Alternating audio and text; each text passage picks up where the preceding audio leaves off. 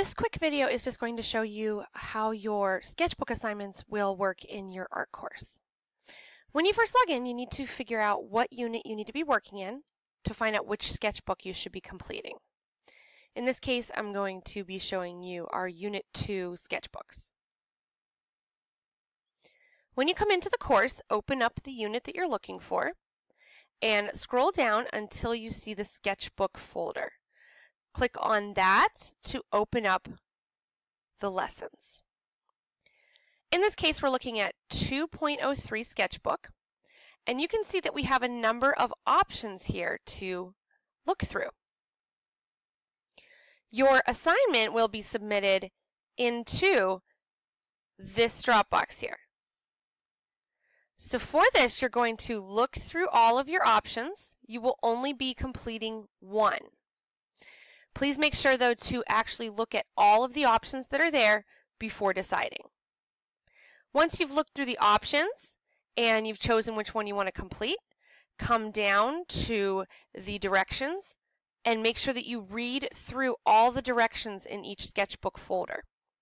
These are all going to be discussion boards, so you'll be posting your work and responses to a discussion board.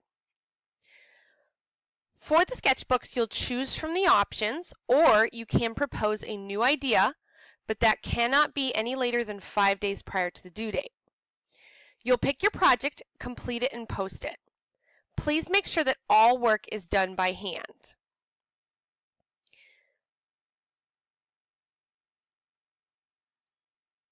Work not done by hand will not be accepted.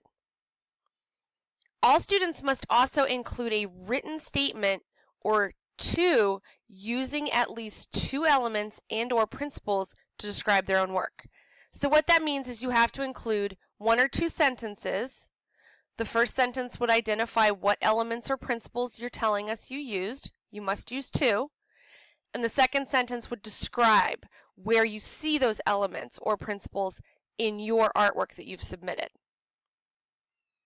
Remember that what you type here is public, so do be careful what you share. You'll pick from those lesson items and decide which one you're going to complete. When you're ready to complete and you have your two sentences, one or two sentences ready, you can click on the sketchbook discussion link. Here's where you will submit a picture of your artwork. So you'll come into your discussion, scroll down until you come to start a new thread.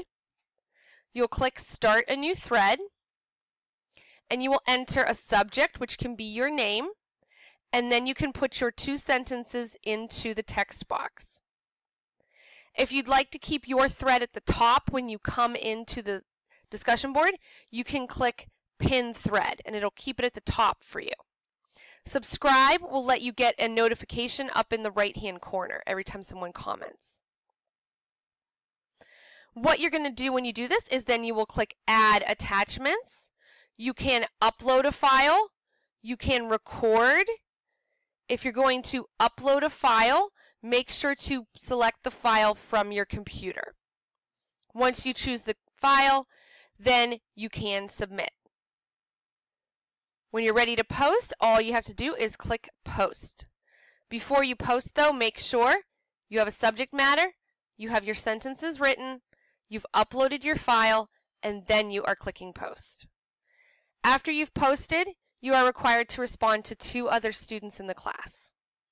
Once you've completed those steps, you are done with this assignment.